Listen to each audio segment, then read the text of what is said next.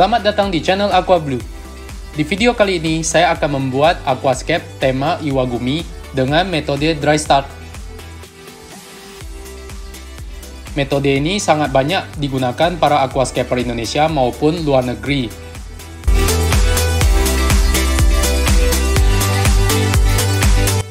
Di bagian dasar substrat, saya menggunakan bakteri starter dari Aqua Sehat dan Power Sand Repack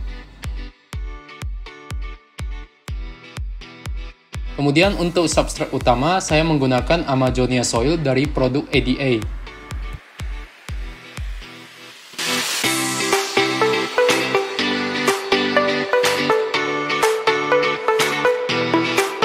Dan sebelumnya saya juga mengsimulasi susunan tersebut supaya untuk mempermudah susunan aslinya di dalam tank.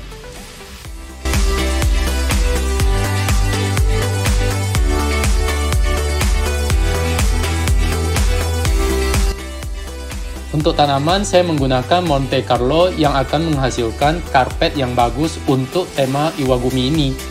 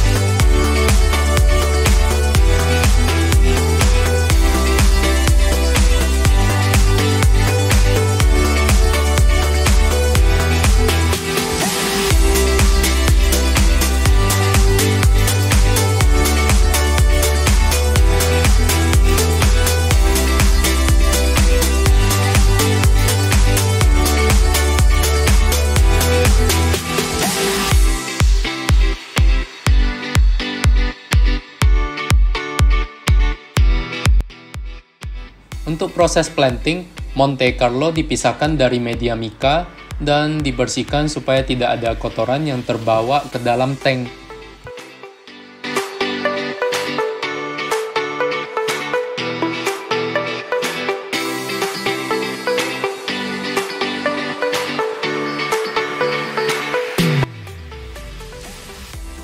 Pastikan substrat dalam kondisi basah terlebih dahulu sebelum proses planting.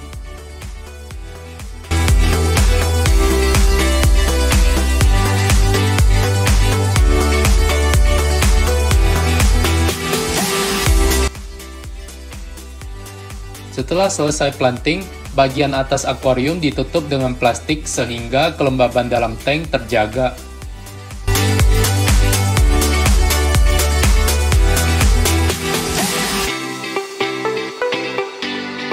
Untuk perawatan dalam metode DSM ini cukup simple.